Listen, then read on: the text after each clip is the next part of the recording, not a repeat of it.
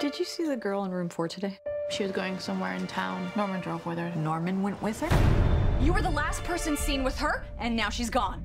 I don't know how long I can keep doing this. Stop it, Mother. You can't keep getting into cars with questionable women. I mean, look what happened with Blair Watson. You're being ridiculous. I'm a little worried about you.